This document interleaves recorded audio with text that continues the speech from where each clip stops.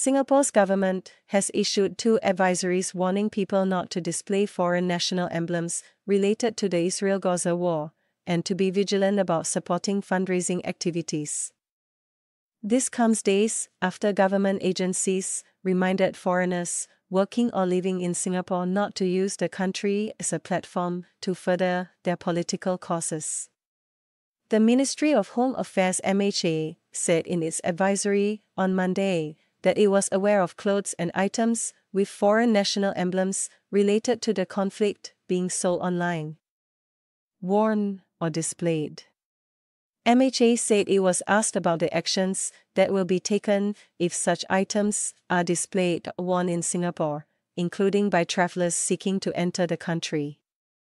Unless expressly exempted, the public display of foreign national emblems without a permit is an offense under the Foreign National Emblems Control of Display Act 1949, said MHA. This offense is punishable with a jail term of up to 6 months, a fine of up to 500 Singapore dollars 370 US dollars or both. Noting that the ongoing Israel-Gaza war is an emotive issue, MHA advised against the public display or wearing of items related to the conflict. Given heightened sensitivities, it advised all travelers using Singapore's checkpoints not to display or wear such items, and said firm action will be taken against those who do not comply, including denying their entry into Singapore. In particular, promoting or supporting terrorism through the display of apparel or paraphernalia that carry logos of terrorist or militant groups, such as Hamas or its military wing Al Qassam brigades, will not be condoned, said MHA. The peace and harmony between different races and religions in Singapore should not be taken for granted. And we must not let events happening externally affect this peace and harmony we have in Singapore. Meanwhile, the Office of the Commissioner of Charities issued another advisory reminding the public that fundraising activities for foreign charitable causes require a permit from the Commissioner before appeals can start.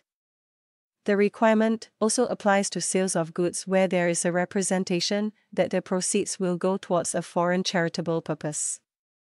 This ensures that donors' funds are channeled to the stated bona fide purposes, the advisory stated.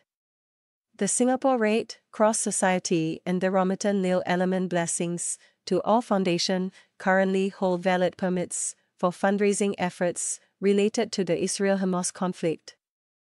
According to the advisory, the Commissioner of Charities reminded donors to be vigilant and discerning about their donations. First, ask the fundraiser basic questions such as who the beneficiary is, what their donations will be used for, and how donors can receive updates about the usage of funds, the advisory stated. Donors can also check the charity portal to verify that they are supporting an appeal organized by registered charities entities with a valid permit to raise funds for foreign charitable purposes. Serious concerns regarding any fundraising activities for foreign charitable causes can be reported to the Commissioner for Charities. Suspected fraud or scams should be reported to the police.